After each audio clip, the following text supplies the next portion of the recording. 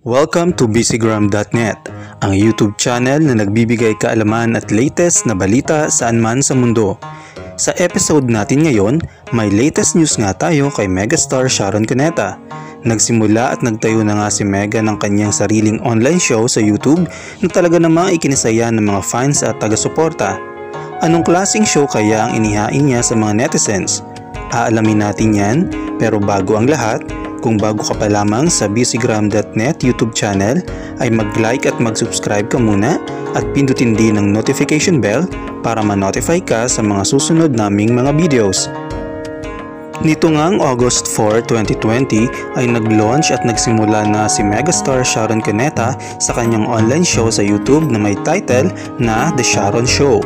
Sa kanyang YouTube channel nga ay may pangalang The Sharon Cuneta Network ay nag-upload siya ng 2 minutes teaser para sa kanyang bagong online show. May title ito na The Sharon Show, It's Finally Here sa nasabing teaser ay nagbigay siya ng official welcome sa kanyang mga fans at subscribers tungkol sa kanyang bagong show. Ipinakita niya ang bahagi ng kanyang bahay kung saan siya nagsushoot pati na rin ang mga bagay na ipapakita niya sa kanyang show. Ayon sa kanya, ang The Sharon Show ay tungkol sa lifestyle, home, mga favorites niya at higit sa lahat ay tungkol sa kanyang sarili na ayon sa kanya ay hindi pa daw manalalaman at hindi pa niya naiilabas sa kanyang mga fans. Mukhang ang kaabang-abang ang show na ito ni Sharon kaya naman marami talaga sa kanyang mga supporters at fans ang lubusang natuwa. Sa una niyang episode nga ay tinalakay niya ang tungkol sa COVID-19 na sobrang napapanahon sa buong mundo. Sa mensahe niya sa kanyang video na nakalagay sa description ng kanyang mga unang episode, and I quote, praying for my Sharonians and every one of you that you all stay safe and healthy. We will get through this and I ask you to please remember to be kind. Now, more than ever, kindness and love in the world is what we need the most. End of quote. Ayon sa kanya na ang virus ay hindi humihina kundi lumalakas pa umano, kaya hinihikayat niya ang lahat na magstay sa bahay at strict follow the rules implemented by government against COVID-19. Idiniin niya na magsuot dapat lahat ng mask. Ipinakita din niya ang tamang paghuhugas ng kamay. Pahayag ni Sharon, and I quote, When you wear your mask, you're actually not wearing it for yourself. You're wearing it para po sa ibang tao at yung taong yon sinusuot din po ang kanyang mask para rin sa iyo, hindi lang para sa kanyang sarili. Hindi po biro ang magsuot lang ng mask ngayon. We have to really remember that. Remember lagi din pong maghugas ng kamay ng 20 segundo. Ganito lang po. Tapos ganito between the fingers. Tapos ganito po pati ibabaw ng 20 segundo.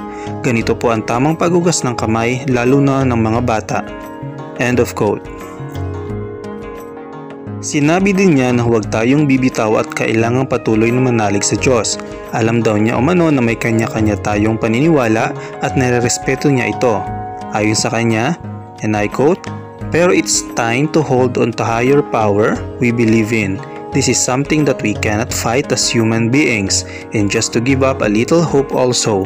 Our God is bigger than this virus and remember also that we have a lot of advances in science and in medicine So we are hoping that scientists and experts in this field can come up with a vaccine or at least something that can make us live with this if not totally get rid of it from our bodies.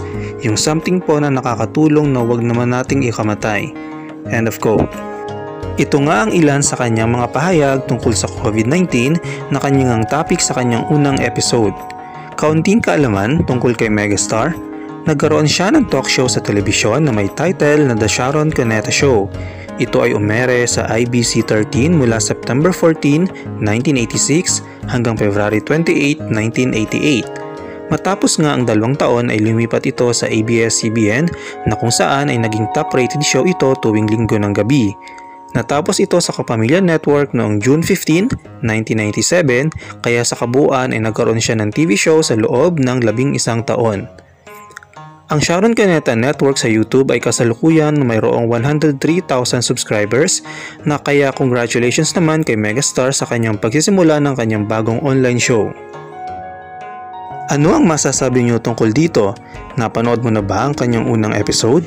I-comment mo lang ang inyong opinion at huwag ding kakalimutang mag-like at subscribe sa bcgram.net YouTube channel at pindutin din ang notification bell para ma-notify ka sa mga susunod nating mga videos.